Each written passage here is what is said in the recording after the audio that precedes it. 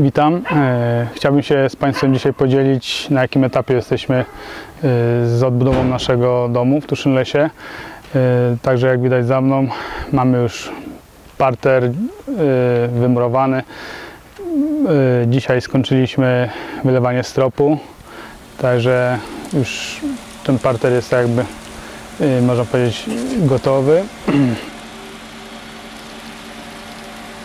W planach jeszcze przez- do połowy sierpnia wymurować y, to piętro y, i zacząć robić dach. Także no, to jest kwestia dwóch, trzech tygodni, żeby zamówić drzewo na dach, y, wymurować i później można przykryć dom.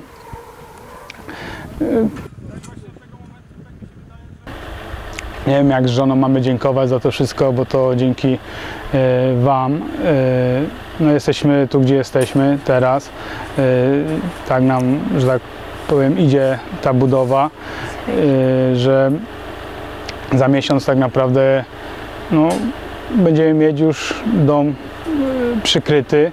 No i zostanie tylko, że tak powiem, no, wykańczanie. Wykańczanie i i cała no, reszta z tym związana, także, no, ale dzięki Państwu no, mogliśmy w tak szybkim e, tempie dojść do tego miejsca, gdzie jesteśmy teraz, no i gdzie będziemy za miesiąc. Także jeszcze raz bardzo serdecznie dziękujemy z Asią, no i z dzieciakami. Z tego miejsca też chciałbym się podzielić e, tą radosną nowiną, że od 6 lipca już jesteśmy wszyscy w komplecie na świat e, o godzinie 12.